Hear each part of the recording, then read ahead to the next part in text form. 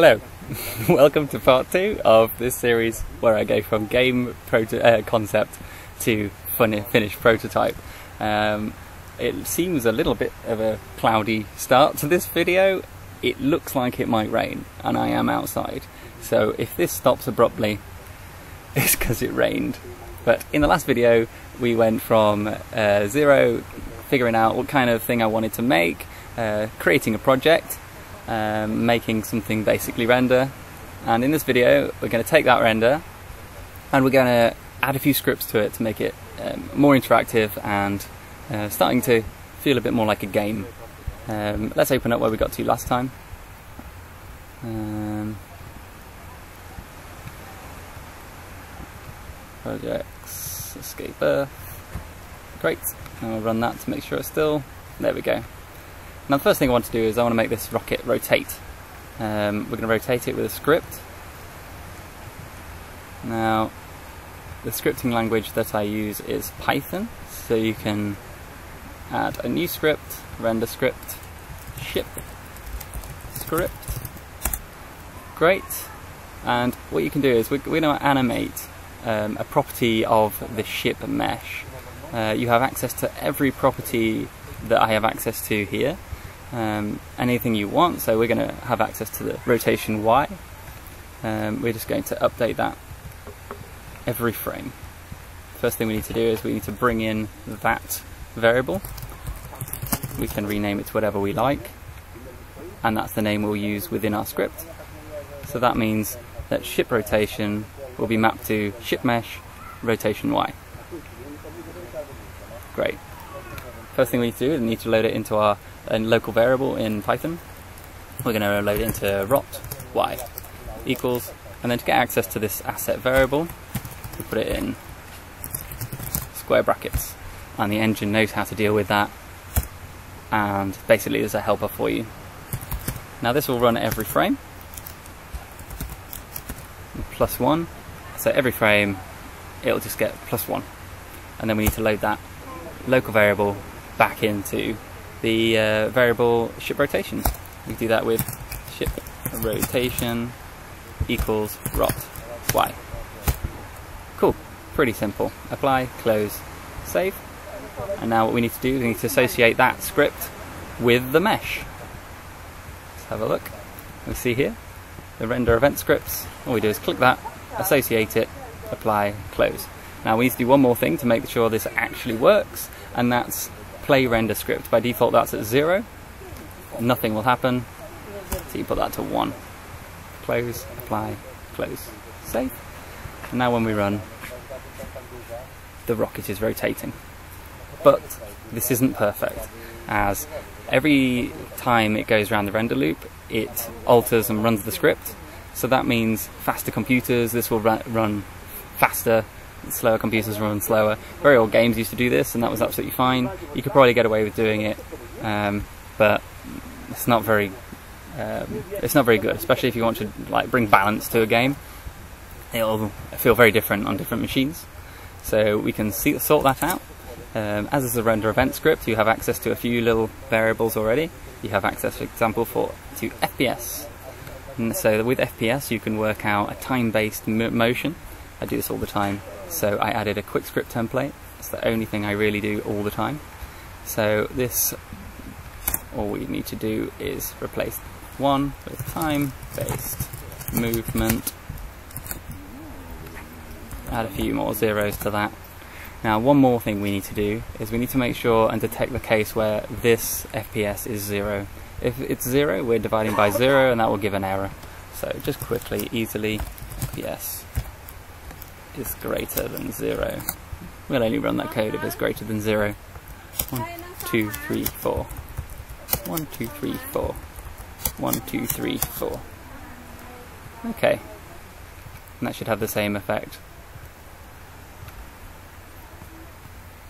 There we go. Now you can probably spot it a little little jutters at times. I'm using a very old laptop and with recording and the webcam and playing it at the same time, it has a bit of trouble. Uh, Right, the next thing I want to do is, uh, the original design had the, the rocket coming out of the screen. Um, this is the complete wrong view.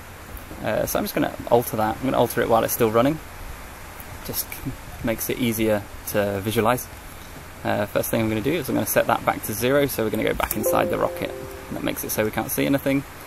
And then we're going to change this to 90 to look straight down. That looks kind of cool, looks like Umbrella Corporation. And then we're going to go up in the y-axis. And now we're looking at the top of the rocket. Close. Great, we'll apply that so it's going to happen next time. Right, the next thing I want to do is I want to make it so you can control the rocket using user input. Now what we need to do is we need to make a user input script. And that's a key event script. Script, key event, user input. Now we're not going to associate this user input with um, the same way we did before because that was with uh, associated with the mesh. This is going to be associated with the window. So game window, we can actually set it here, user input. Great. Okay. Apply, close, save. Great, user input. Now with a key event script, we have access to different things. Button um, makes it's pretty obvious. Uh, X and Y could be if it's a mouse. This can be for mouse as well as keys, input type and input value. We'll go over these. Now, um, just to visualize how it is and what's happening, if we go print, cast to a string, and then put button, we can test to make sure this is definitely working. Apply, close, save. Um, what we need to do is to make sure the console window is showing, because we've told it to print to the console. Now if I press left mouse, uh, left um, arrow key, you can see it says 1100. I actually said that twice, because that's registered pressing it down and lifting it up. Now up, right, left, down. They're the keys we're going to use. So what we need to do is we need to handle those. Uh, this is the local variables. These are variables that will be owned by this user input script. Um, so I'm going to make one for each of those keys left, down. So if left is down, up, down. If the up key is down, right down.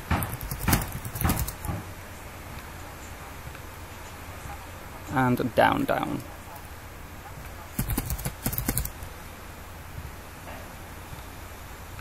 Okay, that's good.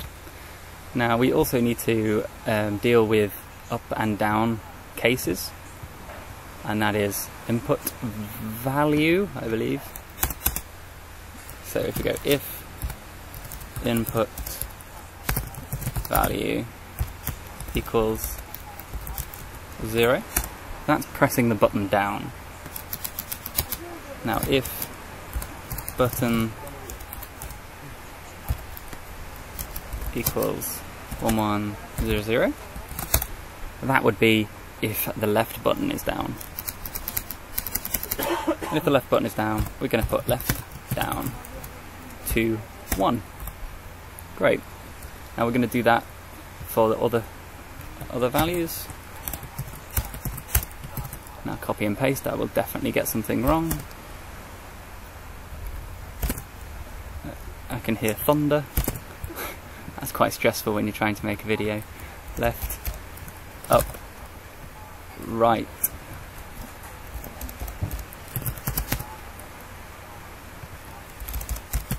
Down. Right, and the other thing we need to handle, else, if the input value is not zero, that means the button is up. So we need to reverse these back to zero. Great. Now, apply, close, save. Now, when we press the key down, it'll load that va variable. Let's just check to make sure that works. Yep. No error tells me that's probably working. Um, good. Yeah, it's quite a not very sunny day here today. Um, currently in Cambodia. If you're interested in that, go and see our daily vlogs we do. Well, it's kind of daily. We'll see. We don't have power a lot of the time. Um, you can see them at yes uh, youtube.com forward slash live life in a box. Uh, this video is actually sponsored by me because no one else does. Uh, and if you're interested, I have already released one prototype using this engine. Is this a game? Is this a game?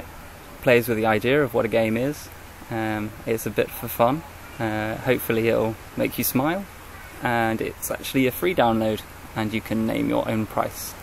The idea is if you pay any money, and it gets over, and the whole thing together gets over $500, I will turn this prototype into a full commercial game and as a thank you, you will get this game for free. Okay, back to it. Right, so now we've got the user input, we've got this variable that changes based on when you press the key. What we need to do now is move the ship based on that. So, the variables we need to do, we need to have access to, we're going to have access to position X and position Z of the ship mesh we're going to do a very basic movement for this for this video. And what we need to do is go, uh, let's go ship X model ship mesh, and then that's position X and ship Z model ship mesh. That's position Z. Great. The next thing we need to do is we need to know when the buttons are pressed exactly done exactly the same. Up, down, and we go to scripts rather than models this time, and user input, user input, we can get access to the variables we just set up in the script. Up, down, down, down,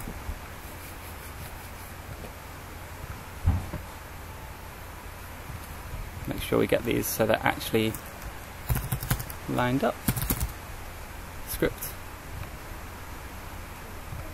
Left down and right down. Scripts, user input, right down. Okay. Okay. So, now we're going to deal with the movement of the ship.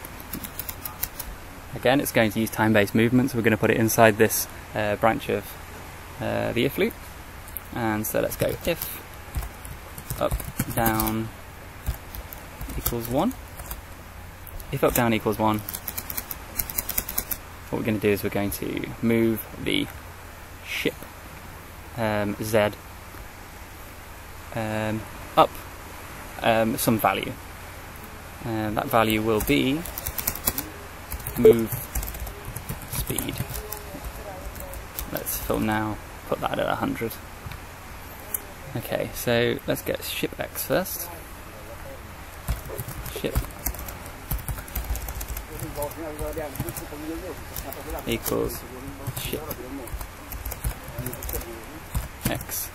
Like before, what that's doing is it's bringing in the value from the engine into the scripting language so you can edit it. Now we're going to move it. Can't remember if that's plus or minus, we can just try it We can use our time-based movement again and put move speed. Great. Now, what that won't do anything yet. Because what we need to do is we need to put that new value back into ship X. Ship X equals ship X.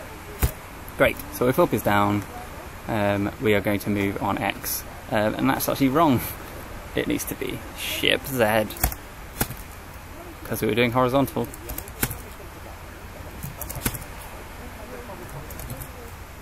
There we go. So now it'll move the Z axis, not the X axis. That makes more sense. Right, we're going to do that for all the other keys. Do down first because that's the easiest. That's just going to be the opposite. And left down equals ship x. Equals ship x. Ship x. Ship x. Ship x. And then the opposite for right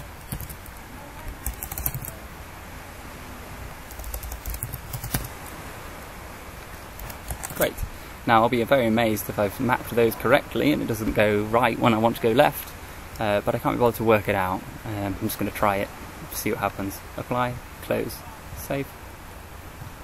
There's a big ant on my screen. right, so if I press left, it goes really fast to the left. If I go right, it goes really fast to the right. Up, it goes down. And down, it goes up.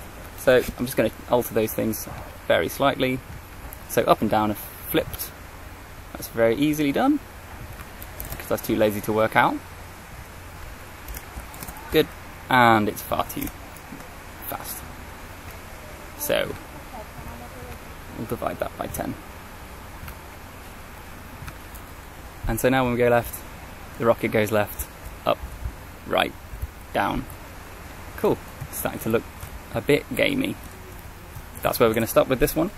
Um, I'm going to upload this using the deploy, and that's going to go straight to itch. It'll be live, and you'll be able to download it.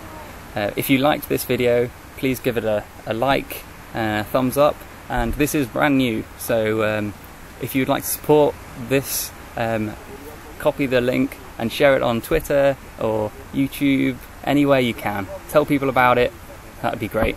Thanks very much. Bye.